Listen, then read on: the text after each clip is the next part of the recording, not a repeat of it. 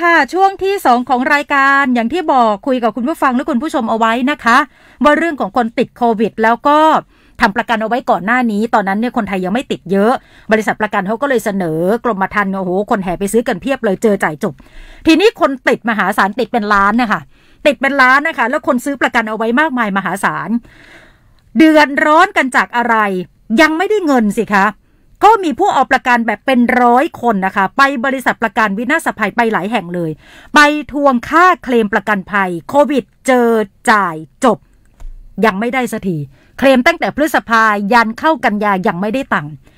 เรื่องนี้เราต้องเรียนถามจากทางคอปอพอค่ะ ไปที่สายของคุณอดีศรพิพัฒน์วรพงศ์เป็นผู้ช่วยเลขาธิการสายกฎหมายและคดีสำนักงานคณะกรรมการกำกับและส่งเสริมการประกอบธุรกิจประกันภัยคอปอพอนะคะ คุณอดีศรค่ะสวัสดีค่ะสวัสดีครับ คุณนิตินาสวัสดีสวัสท่านดีผู้ฟังค่ะทุกท่านครับค่ะ คุณอดีศรคะเท่าที่คอปพรับทราบ มีผู้เอาประกันภัย ออกมาพูดถึงการทวงค่าเคลมประกันภัยโควิดเจอจ่ายจบกันมากน้อยขนาดไหนอะคะ คือที่สำนักงานเนี่ยนะครับ เริ่มได้รับเอ่อคือผมมองว่าอย่างนี้นะอืมเอ่อค่ะที่สำนักงานเรามีสายงานคุ้มครองสิทธิ์ค่ะนะครับ ซึ่งดูแลเรื่องร้องเรียนอยู่แล้วค่ะแล้วก็ก่อนหน้านี้เอาก่อนหน้านี้หน่อยหนึ่งอ่านนะครับ ก่อนหน้านี้เราเห็นเหมือนกับตัวเลขเนี่ยของพวกการที่ที่ร้องเรียนกับเราเรื่องความล่าช้ามากขึ้นค่ะนะครับ แล้วก็ท่านเลขาธิการและท่านดรสุทธิพลทวีชัยการก็รีบค่ะสั่งการนะครับ ให้อืมสายงานคุ้มครองสิทธิ์เป็นคนเริ่มต้นนะครับอืมเอ่อ ตรวจสอบว่าเกิดอะไรขึ้น แล้วมีการพูดคุยกับบริษัทนะครับ ให้มีการแก้ไขปรับปรุงเรื่องนี้ อย่างไรก็ตามเนี่ยนะครับ เราก็จะเห็นได้ว่าเอ่อเนื่องจากเอ่อปัญหาดูเหมือนจะไม่ได้ถูกแก้ไขอย่างอย่างที่ควรนะครับ แล้วก็ถามว่าที่มาที่ไปเป็นยังไงเนี่ยต้องเรียนว่างี้มเอาถ้าเอาที่มาที่ไปจริงๆก็คือว่าเดิมเนี่ยนะครับสถานการณ์แพร่ระบาดของโรคเนี่ยมันไม่ได้ไม่ได้ลุกลามรุนแรงอย่างนี้ค่ะนะครับ ปริมาณของเคลมที่เข้าต่อวันเนี่ยอืม บริษัทยังไม่เคยเจอเคลมที่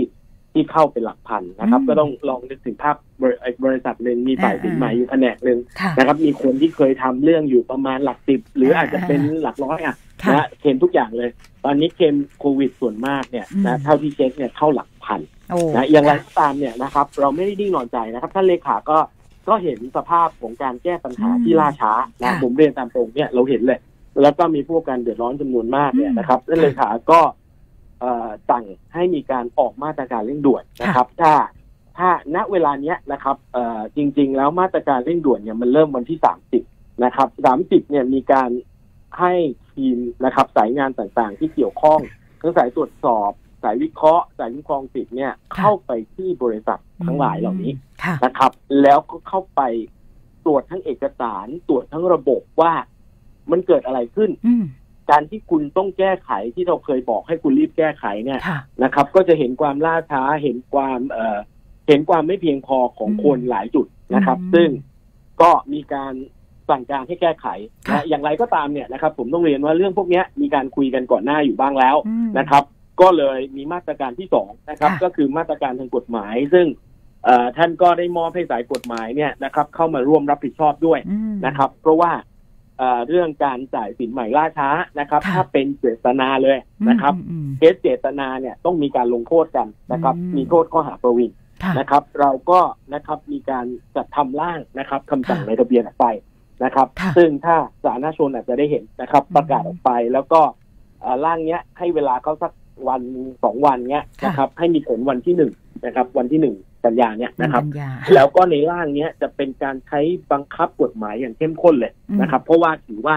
นะครับเอ่อสถานการณ์แบบเนี้ยมีประชาชนที่เป็นผู้กันได้รับผลกระทบเยอะอืมนะครับค่ะเราก็เราเข้าใจนะว่างานมันเพิ่มเยอะ แต่ว่าอืมมันเป็นหน้าที่ของคุณใช่นะครับ ในช่ฐานะผู้รับประกันภัยที่อืมคุณต้องทำยังไง ทุ่มเทสรรพกำลังจากส่วนอื่นอืมมาแก้ไขปัญหานี้ค่ะนะครับอ่า ผมก็ขออนุญาตสรุปหลักการได้เลยสั้นๆแล้วกันนะครับค่ะว่าได้เลยค่ะในมาตรการทางกฎหมายเนี่ยเราออกไปว่ายังไงค่ะนะครับ มาตรการทางกฎหมายเนี่ยนะครับ อย่างที่เรียนว่ามีผลวันที่หนึ่งแล้วเราบอกว่านับแต่วันที่คุณรับเอกสารอ่านนะครับถ้าเอกสารนั้นครบถ้วนไม่มีปัญหาเลยสิบห้าวันคุณต้องจ่ายอ่าครับถ้าคุณไม่จ่ายเราลงโทษแน่นอนอืมนะครับค่ะกรณีที่สองนะครับ ที่ที่เป็นคอมเพลนเยอะๆจริง ๆ ผมก็ได้ยินนะมคือก็มีเพื่อนถามมาว่าเกิดอะไรขึ้น เราก็พยายามช่วยติดต่อนะครับค่ะก็คือเรื่องของการส่งเอกสารไปแล้วก็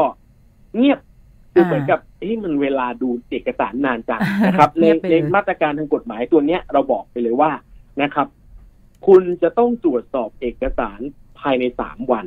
คือเร็วที่สุดแต่ช้าสุดที่คุณทำได้เนี่ยสามวันสามวันถ้าเอกสารไม่ครบ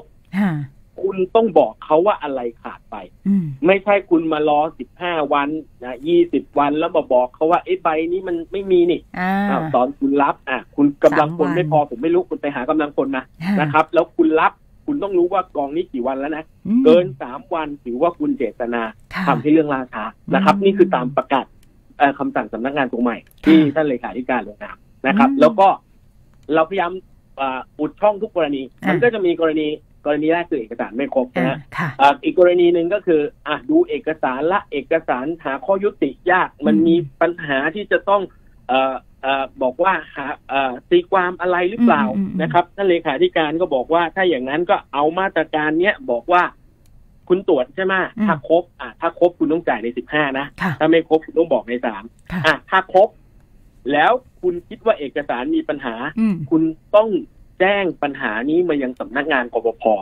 ว่าเรื่องราวของพวกกันอ่าคุณอ่าในกอหรือนางสาวขอเนี่ยนะครับทำไมเหรอทำไมคุณไม่จ่ายมีประเด็นการตีความยังไงคุณคุณมีข้อ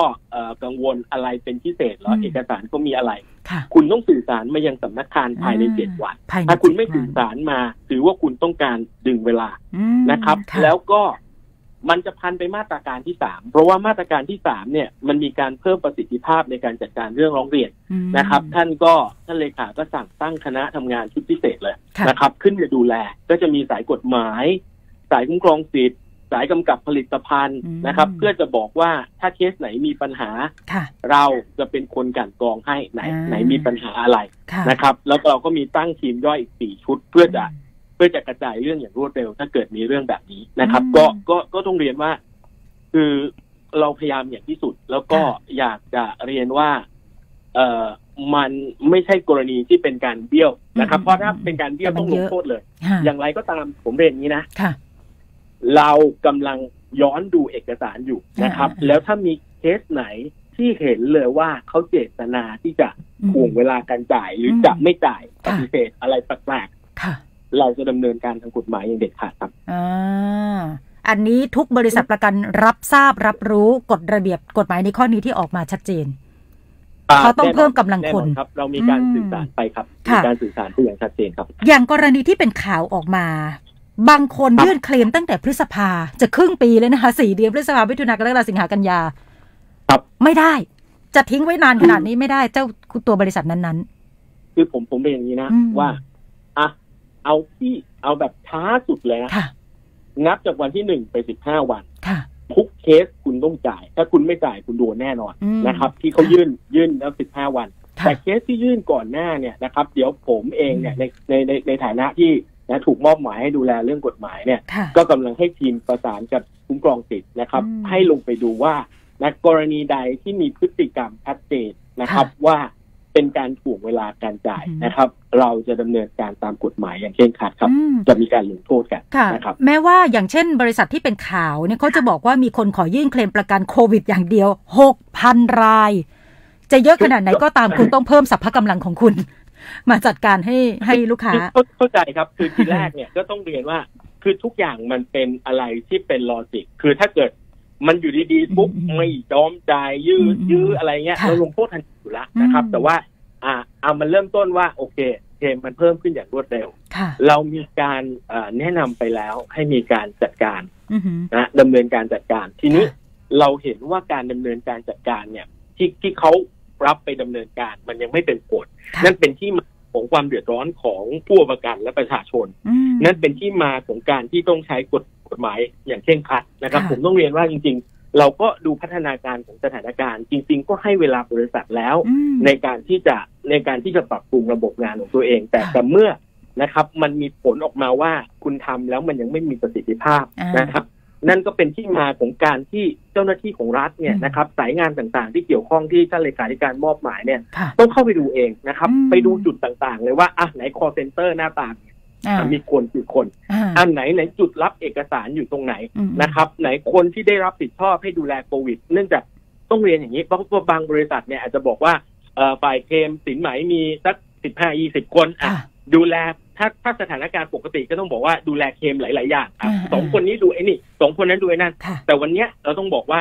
ถ้าคนของตรงนี้ไม่พอจริงอืมคุณต้องหมุนเวียนพนักงานจากจุดอื่นอืมแล้วก็งานที่มันมันอาจจะเป็นงานที่ไม่ยากนะ คุณก็จัดลำดับขั้นตอนได้ เช่นเอ่อพนักงานที่หมุนเวียนมาช่วยจากแผนกอื่น อาจจะแค่ตรวจเอกสารว่าครบไหมค่ะนะครับ ถ้าไม่ครบจะได้รีบตอบเข้าไปอืมนะครับ มันไม่ได้ทำให้คือ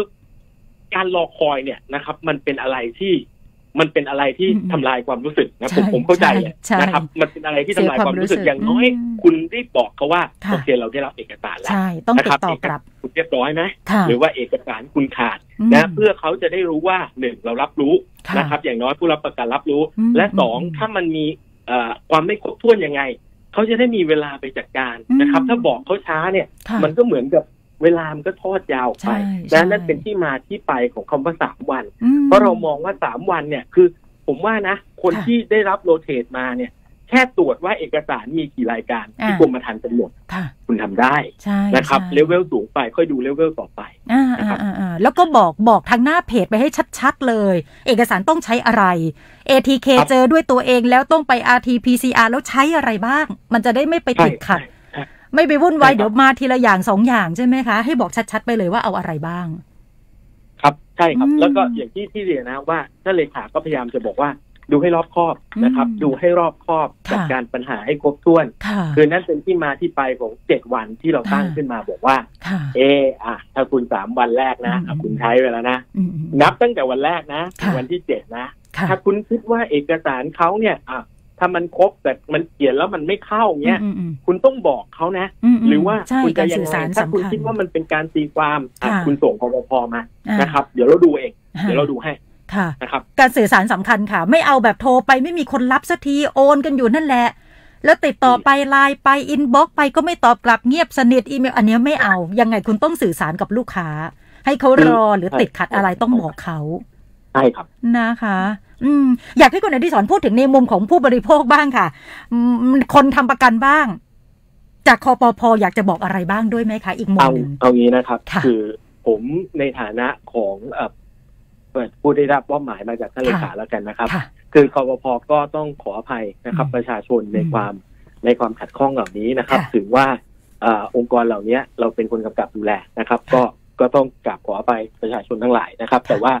ตอนนี้นะครับเราได้พยายามอย่างเต็มที่นะครับที่จะบริหารจัดการสถานการณ์แม้ว่าผู้ติดเชื้อจะมากเท่าไหร่เนี่ยนะครับ เราก็พยายามจะดำเนินการอืมแล้วก็อยากให้ประชาชนยังคงมีความมั่นใจ เพราะว่าผมเรียนอย่างนี้ว่าเอ่อเราเราเราดำเนินการทดสอบที่เขาเรียก stress test นะครับภาวะวิกฤตเนี่ยทางการเงินอะไรต่างๆ แล้วเนี่ยอืมอืมอืมเราจะบอกว่าเออความเสี่ยงเนี่ยไม่ใช่ความเสี่ยงเชิงระบบนะครับอืมแล้วก็ระบบประกันภัยยังคงมีความมั่นคงค่ะนะครับ และกปพยังคง นะครับ ผมจะบอกว่าเรารับรับสื่อจากทุกทางนะครับค่ะโซเชียลหรือว่า inbox ต่างๆ เราเราพยายามดำเนินการตลอดเวลาเพื่อให้ทุกคนนะครับ ได้รับอ่าความคุ้มครองอย่างรวดเร็วที่สุดนะครับ แล้วก็อ่าความบกพร่องทั้งหลายนะครับ ถ้ามีก็ก็กราบขออภัยแล้วก็ถ้ามีอะไรก็สื่อสารมาคอพพอืมได้ช่องทางต่างๆนะครับค่ะก็จะมีสายด่วนสายด่วนหนึ่งหนึ่งแปดหกนะครับ ในเว็บไซต์ก็จะมีช่องทางติดต่อทางอื่น ที่เป็นทางอ่าทาง ตัวเว็บไซต์เองทาง Line Official นะครับ เพราะว่าก็ต้องเรียนตามตรงนี่คือข้อเท็จจริงว่าบางครั้งเนี่ยนะครับจำนวนผู้ที่ต้องการติดต่อเยอะมาก แม้ว่าเราเพิ่มคน เราก็บอกบริษัทเหมือนกันว่า คุณต้องเพิ่มช่องช่องทางการติดต่ออืมแล้วถ้าเขาติดต่อคุณไม่ได้อืมอย่างน้อยเขาต้องรีบอะไรสักอย่าง แล้วคุณต้องติดต่อเขาไม่ใช่ใช่คุณทิ้งสายครับ ใช่โอ้เยี่ยมเลยค่ะ วันนี้ขอบคุณมาก ๆ เลยนะคะ คุณอดิศรค่ะ ขอบพระคุณขอบคุณมากมากรับๆค่ะที่ให้โอกาสสำนักงานได้ได้มาชี้แจงครับยินดีขอบคุณที่สุดคขรับอบคุณค่ะ สวัสดีค่ะครับสวัสดีค่ะรับผมคุณอดิศรพิพัฒน์วรพงศ์นะคะ ผู้ช่วยเลขาธิการสายกฎสายกฎหมายและคดีสำนักงานคณะกรรมการกำกับและส่งเสริมการประกอบธุรกิจประกันภัย